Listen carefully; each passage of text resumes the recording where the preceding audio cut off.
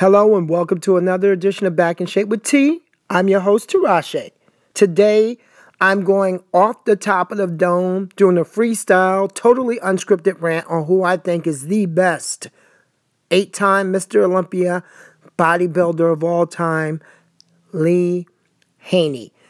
I believe he is the best Mr. Olympia of all time. Many people who've interviewed Lee Haney or talk about him on any consistent basis will always refer to Lee Haney as a humble ambassador for the sport of bodybuilding. Lee Haney was not humble, he was braggadocious, and he had the right to be. Look at that body. Looks like something that was created in a toy factory. You can see all of the etched details from the chest, triceps. Look at the shoulders. Look at those deltoids. You've got lines everywhere, feathers, striations.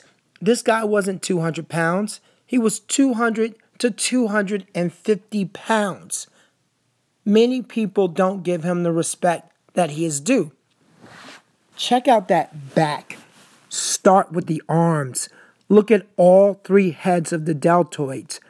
Look at how the biceps, the brachialis muscles, the radiobrachialis, and the triceps are all carved in unbelievable detail. Reminiscent of Lee Haney is a new and improved bodybuilder, Kai Greene. Now we're separating these two pictures over 20 years apart and 20 years of much better technology in the drugs. Even in 2007, Kai Greene's physique, particularly from the back, which is amazing nowadays, in 2007 was not as good as Lee Haney's was in the late 1980s. That tells you something right there. That tells you that if you transferred Lee Haney from this era in the 80s slash 90s or early 90s, because he retired in 1991, but the 80s rather, if you put him in today's bodybuilding climate with the technology that they have, his prowess would carry over hands down. You take an eight-time champion from that era with those type of gifts and you put him in this era and he will be the champion. No doubt about it. Look at the detail in both Dorian and Lee Haney. Dorian Yates looked like He-Man in this picture. An incredible physique. Nice detail. This is the best Dorian looked. And if he would have gained 40 to 50 pounds looking like this, putting muscle on in the right places without getting blocky, look at those etched details. Look at that separation. You can see the veins everywhere. That Dorian Yates looked like a toy. Amazing. Now you compare the two of them, Dorian has slightly more etching and detail in the intercostals. Lee Haney is slightly fuller. That fullness wouldn't cost you points with that type of shape and conditioning. You can see the difference in their pec size. It's astronomical. But if I say Dorian Yates had this type of physique with more weight on his body, he would have certainly been probably a seven time or eight time Mr. Olympia himself. In my opinion, Arnold Schwarzenegger had the physique that I most wanted. I think that he would probably be my favorite bodybuilder. He's the type of body that I look at and say, man, I think women would love this. This is me understanding what a great physique looks like, but not really understanding the sport up until recently. When I say recently, maybe 10 years ago, understanding why one guy beats another. I never understood why Dorian Yates was always revered by so many people about this mythical beast from England that has nothing to do with the way the body looks on a bodybuilding stage. This man looked like a Ferrari that was slightly dented in one era, area, slightly rusty in another area, no tire on another area, and considered to be the best bodybuilder in the world because of the mythical work ethic and the size he brought. We're not going to go at this over and over again, but it makes no sense. This is not the look that I would consider to be one of the greatest champions. I also think that most of, including Jay Cutler, were better champions than Dorian Yates. They had better bodies. Lee Haney brought a classic physique body to a 240 to 250 pound muscle frame. Compare that to these classic physique guys. Look at your Mr. Olympia champion, Breon Ansley. Here he might be just about 195 pounds and absolutely not even as detailed as Lee Haney, who outweighed him by nearly 70 pounds. Look at your men's physique guys. Brandon Hendrickson, the 2018 Mr. Olympia, has to look good just standing there. He has to show quality, detail, and conditioning. That looks amazing but it doesn't hold the candle to a man who outweighs him by 60 pounds. Look at those biceps, they look like granite. Look at the forearms. They look like you can see every single muscle fiber ever made up.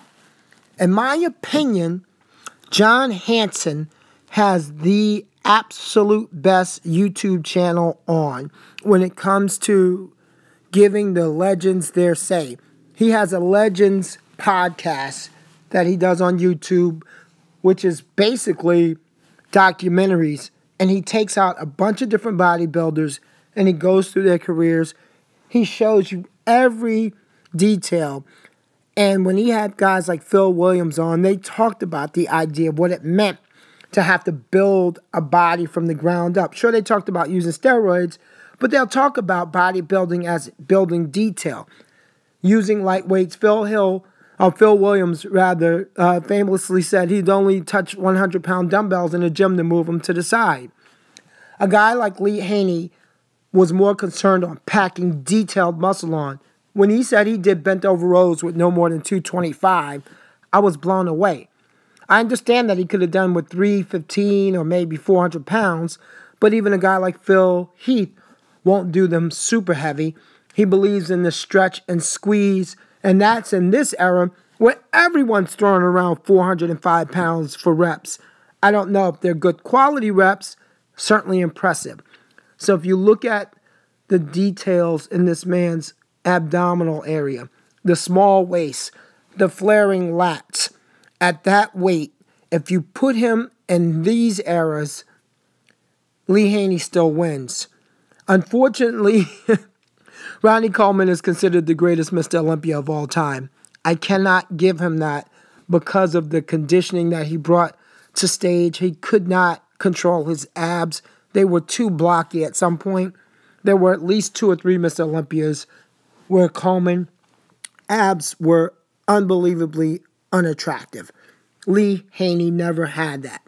Lee Haney managed to keep great size and great detail. If you look at this side chest, look at the way those striations go.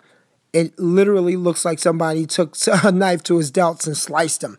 I thought this guy, Michael Lockett, would be the next kind of Lee Haney when I saw him back in 2005.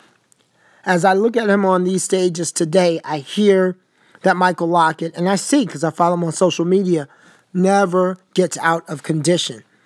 Beautiful conditioning.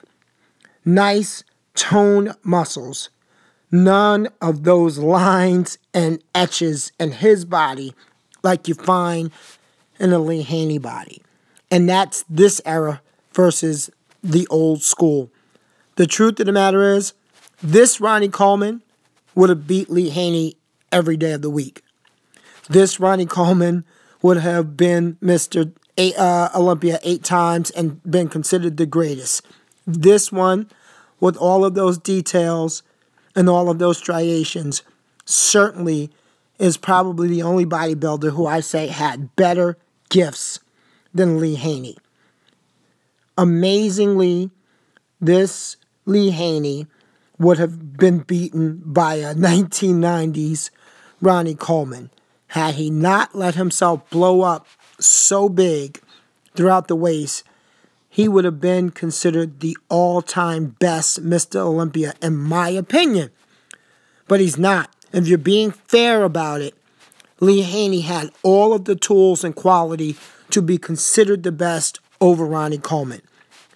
Shawn Ray is somebody that every fan of bodybuilding will agree brought detailed and condition to every stage that he'd ever been on. His consistency was amazing. Striations, amazing. Cuts, amazing. But if Shawn Ray is a 9.5, Lee Haney is a 10.5 on a scale of 1 to 10. He is a cut above even Shawn Ray, who happens to be my second favorite bodybuilder of all time behind Arnold Schwarzenegger. But Lee Haney, as Mr. Olympia champion, is the greatest. It's weird. The only reason I look at a Shawn Ray's physique and say, wow, I like this better, is because it's very aesthetic, very well proportioned, very well put together. Not necessarily good enough to be the Lee Haney, but the Lee Haney physique for some somehow to me feels like unreal, feels alien.